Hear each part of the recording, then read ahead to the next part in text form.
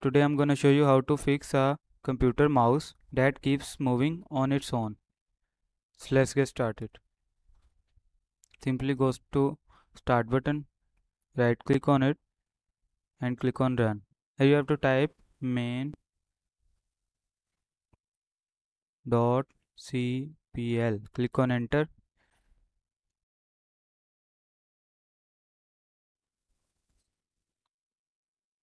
Now here you can see the option hide pointer while typing. So uncheck this and click on apply. Click on OK.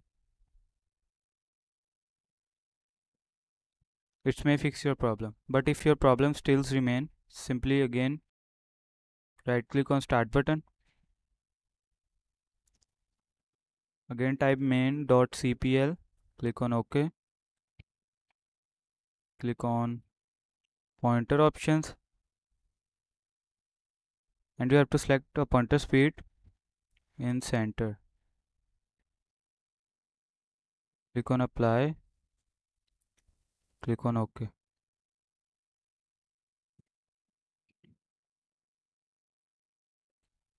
After doing this process your problem will be fixed. I hope this information was helpful for you. Thank you for watching. Have a good day